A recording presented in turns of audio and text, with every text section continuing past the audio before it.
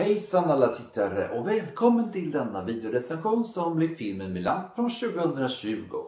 Det är en nyinspelning av animerade filmen Milan från 1998 som handlar om flickan Hua Milan som enligt går med i en armé för att ta sin fars plats när Kina kallar in folk för att landet har blivit invaderat.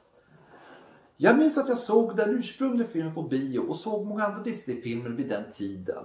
Jag hade sett fram emot filmen tidigare som skulle ha visats på bio men ställdes in på grund av coronapandemin och väntade tills den lanserades på Disney+.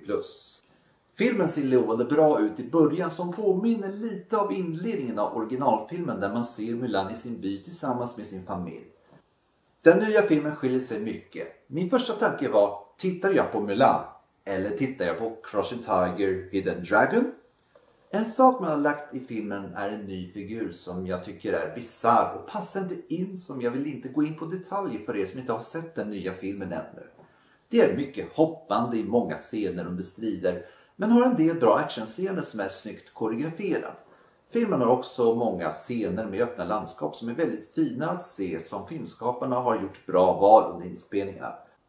Den nya filmen är tyvärr en besvikelse som är en mörk film som har lite humor till skillnad från originalfilmen och ger den nya filmen betyget 2 av 5. Det var allt för den här gången. Vad tycker ni tittare om den här nya filmen? Tycker ni om den är bättre än den gamla eller föredrar ni hellre originalfilmen? Jag föredrar hellre att se den här faktiskt. Det är en mycket sevärd film. Så tack alla tittare som har sett denna recension och se gärna med andra här på Youtube. Hej då!